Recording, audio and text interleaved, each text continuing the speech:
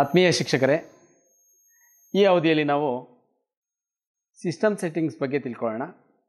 ಈ systems settings ಅನ್ನೋದು ನಾವು ಯಾಕೆ ಮಾಡಬೇಕು ಅಂತಂದರೆ, ಪ್ರತಿ ದಿವಸ ನಾವು ಕಂಪ್ಯೂಟ್ರಲ್ಲಿ ಕೆಲಸ ಮಾಡ್ತಾ ಇರಬೇಕಾದ್ರೆ, ಒಂದೇ ರೀತಿಯ ವಾಲ್ಪೇಪರ್ಸ್ ಆಗಿರ್ಬೋದು ಫಾಂಟ್ಸ್ ಆಗಿರ್ಬೋದು, ಒಂದೇ ರೀತಿ ಇರೋದರಿಂದ ನಮಗೆ ಸ್ವಲ್ಪ ಬೋರ್ ಅಂತ ಅನಿಸುತ್ತೆ.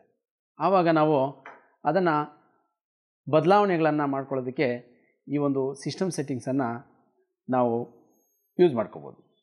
ಈಗ ಆ ಒಂದು ಸಿಸ್ಟಮ್ ಸೆಟ್ಟಿಂಗ್ಸನ್ನು ಯಾವ ರೀತಿ ಆ್ಯಕ್ಸೆಸ್ ಮಾಡೋದು ಅನ್ನೋದನ್ನು ತಿಳಿಯೋಣ.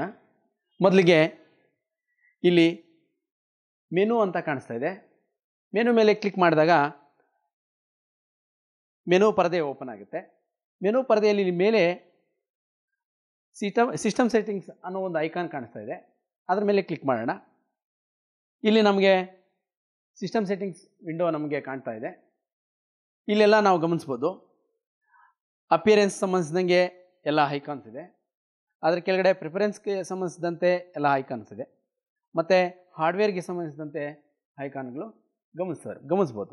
ಅದೇ ರೀತಿ ಅಡ್ಮಿನಿಸ್ಟ್ರೇಷನ್ಗೆ ಸಂಬಂಧಿಸಿದಂತೆ ಯೂಸರ್ಸ್ ಮತ್ತು ಗ್ರೂಪ್ಸ್ ಅನ್ನೋ ಒಂದು ಐಕಾನ್ ಕೂಡ ನಾವಿಲ್ಲಿ ಗಮನಿಸ್ಬೋದು.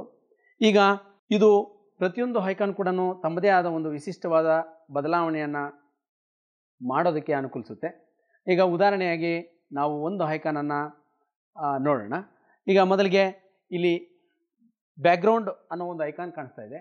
ಅದರ ಮೇಲೆ ಕ್ಲಿಕ್ ಮಾಡೋದ್ರ ಮೂಲಕ ನಮ್ಮ ಡೆಸ್ಕ್ಟಾಪ್ ಮೇಲೆ ಇರುವ ವಾಲ್ಪೇಪರನ್ನು ಬದಲಾವಣೆ ಮಾಡ್ಕೊಳ್ಳೋದು ಯಾವ ರೀತಿ ಅಂತ ಈಗ ನೋಡೋಣ. ಈಗ ನಾನು ಕ್ಲಿಕ್ ಮಾಡಿದ್ದೀನಿ. ಈಗ ಬ್ಯಾಕ್ಗ್ರೌಂಡ್ಸ್ ಓಪನ್ ಆಗಿದೆ.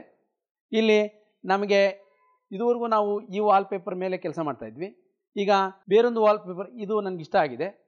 ಅದನ್ನು ಕ್ಲಿಕ್ ಮಾಡಿದ ಕೂಡಲೇ ನಮಗೆ ಬ್ಯಾಕ್ಗ್ರೌಂಡಲ್ಲಿ ವಾಲ್ಪೇಪರ್ ಬಂದಿದೆ. ಈಗ ಕ್ಲೋಸ್ ಮಾಡೋಣ ಇದನ್ನು. ಓಕೆ ಕ್ಲೋಸ್ ಆಯಿತು. ಈಗ ವಾಲ್ಪೇಪರ್ ಚೇಂಜ್ ಆಯಿತು.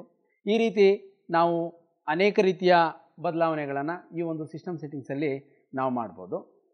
ಮತ್ತು ಈ ಒಂದು ಸಿಸ್ಟಮ್ ಸೆಟ್ಟಿಂಗ್ನ ಇನ್ನೂ ಅನೇಕ ರೀತಿಯಲ್ಲಿ ನಾವು ಆಕ್ಸೆಸ್ ಮಾಡ್ಬೋದು. ಈಗ ಇಲ್ಲಿ ಡಯಟ್ ಅನ್ನೋ ಒಂದು ಐಕಾನ್ ಕಾಣಿಸ್ತಾ ಇದೆ ಇಲ್ಲಿ ಚಿಕ್ಕದಾಗಿ. ಅದರ ಮೇಲೆ ಕ್ಲಿಕ್ ಮಾಡಿದ್ರೆ ನಮಗೆ ಸಿಸ್ಟಮ್ ಸೆಟ್ಟಿಂಗ್ಸ್ ಅಂತ ಒಂದು ಟೈಟ್ಲ್ ಕಾಣಿಸ್ತಾ ಇದೆ. ಆ ಟ್ಲೈ ಟೈಟ್ಲನ್ನು ಕ್ಲಿಕ್ ಮಾಡಿದಾಗ ನಮಗೆ ಅದೇ ರೀತಿಯಾಗಿ, ಆ ಸಿಸ್ಟಮ್ ಸೆಟ್ಟಿಂಗ್ಸ್ ವಿಂಡೋ ನಮ್ಗೆ ಕಾಣಿಸುತ್ತೆ.